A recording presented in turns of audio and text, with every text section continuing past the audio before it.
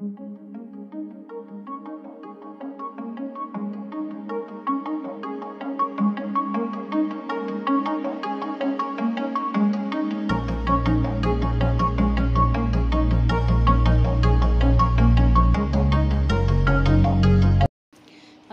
grade 4 welcome to online lectures of SPSC I am your computer science teacher Hera today we are covering our assignment number 2 from chapter number 1 the nature of technology the computers around us.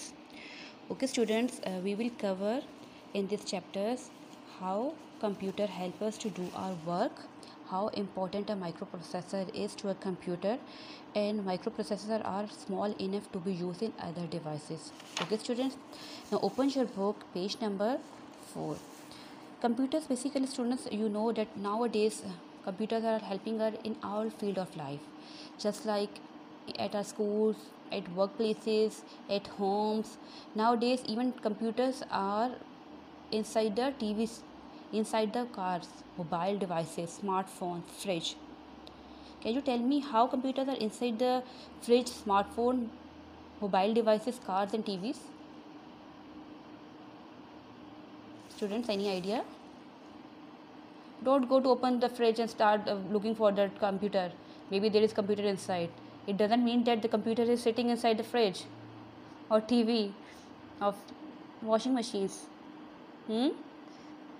think think think you are very intelligent students i know you are very intelligent any answers how with the help of a microprocessor basically microprocessor is a small chip but very powerful chip. It is called a brain of a computer.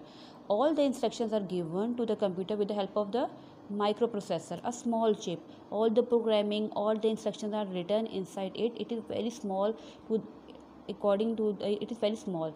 Uh, just like the small of uh, just like a, a size of our fingertip small size it can fit inside any device easily and it has the sensors and the switches. With the help of these sensors they can easily get the data around surrounding and match the data with the programming with the data which is already embedded. Embedded means written on the chip.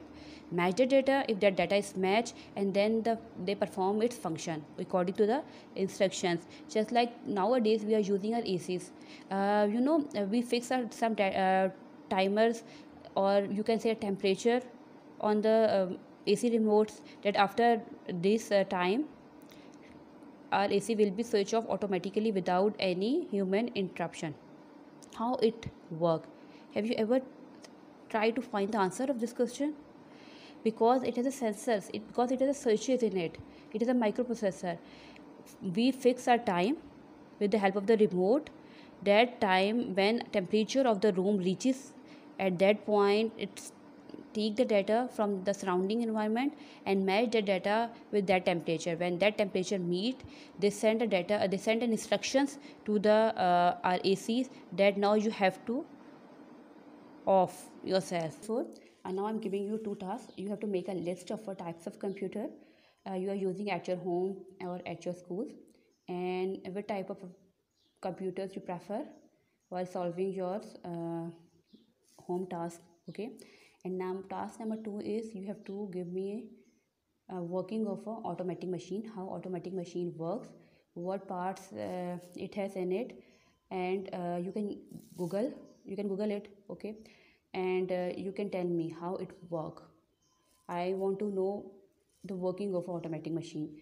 Inshallah in next uh, assignment we will cover this topic too how it work how um, fridge and acs and tvs uh, do their work with the help of microprocessors and the sensors. Hope you can easily understand uh, this topic what is microprocessor and how it work. Uh, inshallah uh, in next uh, class we will cover the legs of the uh, parts of a microprocessor. Thank you so much. Stay blessed. Allah hafiz